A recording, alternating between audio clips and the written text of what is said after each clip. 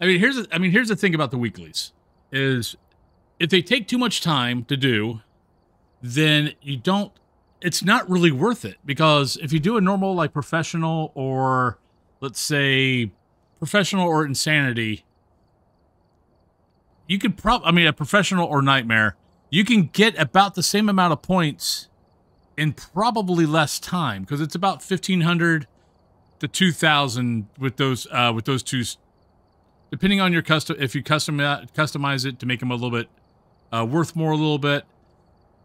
So you know if the if the weekly is really hard and all you're really wanting is the xp and the money it's almost easier to just do you know some custom uh, nightmare games and get those right because you'll probably get those done faster and you can also choose smaller maps like sunny meadows. I got lucky on those that I, that probably took us less than 20 25 minutes to do all three of those.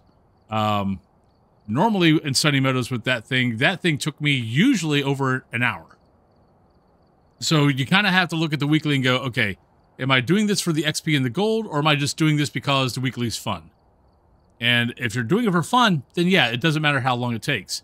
If you're doing it to try to get xp and gold sometimes doing custom nightmare, custom professional is a faster way to get your XP and gold.